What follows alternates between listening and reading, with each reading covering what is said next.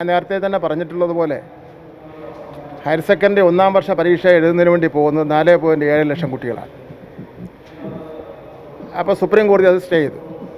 ഇപ്പോൾ സുപ്രീം കോടതി ചിന്തിക്കുന്നത് ഇത്രയധികം കുട്ടികൾ സ്കൂളിലത്തേക്ക് പോകണ്ട എന്ന പോകണ്ട എന്നുള്ള നിലയിലാണ് സുപ്രീം കോടതി ചിന്തിക്കുന്നത്.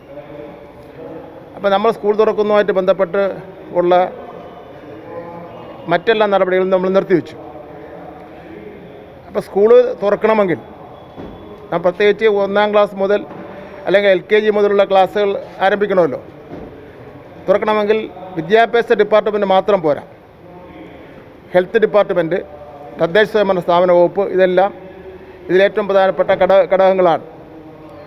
എന്ന് മാത്രമല്ല സംസ്ഥാനത്ത് തന്നെ കോവിഡിന്റെ കാര്യങ്ങൾ തീരുമാനിക്കുന്നതിന് വേണ്ടി സംസ്ഥാന നിലവാരത്തിൽ മുഖ്യമന്ത്രിയുടെ നേതൃത്വത്തിൽ ഒരു സമിതി പ്രവർത്തിക്കുന്നുണ്ട്. അപ്പോൾ സ്വാഭാവികമായിട്ടും തദ്ദേശ സ്വയംഭരണ വകുപ്പ് വിദ്യാഭ്യാസ വകുപ്പ് ആരോഗ്യ വകുപ്പ് ഇതെല്ലാം ചേർന്നുകൊണ്ടുള്ള സമിതിയാണ് പ്രവർത്തിച്ചുകൊണ്ടിരിക്കുന്നത്. കോളേജുകൾ തുറക്കുന്നതിന് വേണ്ടി തീരുമാനിച്ചിട്ടുണ്ട്. ഇന്ന് ബഹുമാനപ്പെട്ട മുഖ്യമന്ത്രി പറഞ്ഞിട്ടുണ്ട് നമുക്ക് സ്കൂളുകൾ എത്രയും പെട്ടെന്ന് തുറക്കുന്നതിനുള്ള നടപടി സ്വീകരിക്കാമെന്ന് ബഹുമാനപ്പെട്ട മുഖ്യമന്ത്രി പറഞ്ഞിട്ടുണ്ട്. ബഹുമാനപ്പെട്ട മുഖ്യമന്ത്രിയുടെ പ്രഖ്യാപനത്തിന്റെ അടിസ്ഥാനത്തിൽ നമുക്ക് നാൽപ്പത്തഞ്ച് ലക്ഷത്തോളം വരുന്ന വിദ്യാർത്ഥികളാണ് സ്കൂളുകളിൽ എത്തി എത്തിക്കേണ്ടി വരുന്നത്. അതിനു വേണ്ടിയുള്ള സ്കൂൾ തുറക്കുമ്പോൾ തുറക്കാൻ പറ്റുന്ന ഒരു അന്തരീക്ഷവും അതിനു വേണ്ടിയുള്ള മുന്നൊരുക്കങ്ങളും നടത്തുന്നതിന് വേണ്ടി വിദ്യാഭ്യാസ വകുപ്പിന് നിർദ്ദേശം കൊടുത്തിട്ടുണ്ട്. ബന്ധപ്പെട്ട ഡെപ്യൂട്ടി ഡയറക്ടർമാർ അതുപോലെ സ്കൂൾ പ്രിൻസിപ്പൾമാർ അതുപോലെ ഡി ഒമാർ അതിന്റെ ചുമതലയുള്ള മറ്റു ഉദ്യോഗസ്ഥന്മാരൊക്കെ തന്നെ ഓരോ വിദ്യാലയങ്ങളുടെയും പ്രത്യേക സാഹചര്യം അനുസരിച്ചുകൊണ്ട് ഗവൺമെന്റിന്റെ പ്രഖ്യാപനം വന്നു കഴിഞ്ഞാൽ ഒരു ബുദ്ധിമുട്ടുമില്ലാതെ കുറ്റമറ്റതായി തന്നെ ക്ലാസ്സുകൾ നടത്തുന്നതിനെ സംബന്ധിച്ചിടത്തോളമുള്ള തയ്യാറെടുപ്പുകൾക്ക് വേണ്ടിയുള്ള പ്രോജക്റ്റുകൾ തയ്യാറാക്കിക്കൊണ്ടിരിക്കുകയാണ്. എന്ന് മാത്രമല്ല കോളേജ് പോലല്ല. ഇതൊരു ക്ലാസ്സിൽ അറുപത് കുട്ടികളൊക്കെ തന്നെ ഉള്ള ക്ലാസ്സുകളാണ്. അപ്പോൾ അതെല്ലാം എങ്ങനെ നമുക്ക് ക്രമീകരിക്കാം എന്നെ സംബന്ധിച്ചിടത്തോളമുള്ള റിപ്പ- റിപ്പോർട്ട് റിപ്പോർട്ടും അതിന്റെ ഒരു പഠനവും നടത്തി നടത്തിക്കൊണ്ടിരിക്കുകയാണ്. അത് പിന്നെ ഗവൺമെന്റിന് സമർപ്പിക്കും. അതിന്റെയും കൂടെ അടിസ്ഥാനത്തിൽ അടിസ്ഥാന അടിസ്ഥാനത്തിൽ ബഹുമാനപ്പെട്ട മുഖ്യമന്ത്രി പറഞ്ഞ് മുഖ്യമന്ത്രി തുറക്കുന്ന തീയതി പ്രഖ്യാപിക്കും. ബഹുമാനപ്പെട്ട സുപ്രീം കോടതി പതിമൂന്നാം തീയതി വിധി പറയാൻ വേണ്ടി വെച്ചേക്കുകയാണല്ലോ അത് വന്ന ശേഷം അതിനെ സംബന്ധിച്ചോളം പ്രതികരിക്കാം.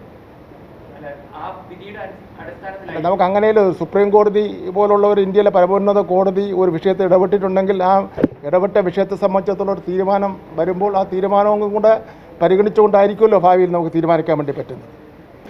അതെ അതെ അതെ അതെ അതെ അതെ അതല്ല അതിന്റെ ഭാഗമായിട്ടുള്ളത്. കാര്യം വെച്ചാൽ അതൊരു വളരെ പ്രധാനപ്പെട്ട കാര്യമാണല്ലോ.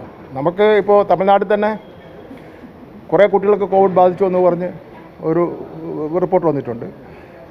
ഇത് ഇന്ത്യയിലും അതുപോലെ ലോകത്തുമുള്ള ഈ രംഗത്തെ പഠനം നടത്തുന്ന ശാസ്ത്രജ്ഞന്മാർ പറയുന്നത് കൊച്ചു കുട്ടികളിൽ പ്രതിരോധ ശക്തി കൂടുതലാണെന്നൊക്കെ പറഞ്ഞ റിപ്പോർട്ടുകൾ പത്രത്തിൽ വരുന്നുണ്ട്. എങ്കിൽ പോലും നമുക്ക് നമ്മളെ സംബന്ധിച്ചിടത്തോളം എല്ലാ പഴുതുകളും അടച്ചുകൊണ്ട് മാത്രമേ നമുക്ക് കാര്യങ്ങൾ നിർവഹിക്കുന്നതിന് വേണ്ടി കഴിയുള്ളൂ. നമുക്കൊരു പിന്നെ കൊച്ചു കുട്ടി സ്കൂൾ സ്കൂൾ കുട്ടിക്ക് ഒരു രോഗം വന്ന് എന്തെങ്കിലും ബുദ്ധിമുട്ടുണ്ടാകുന്നത് വളരെ പ്രയാസമേറിയ സാഹചര്യമാണ്.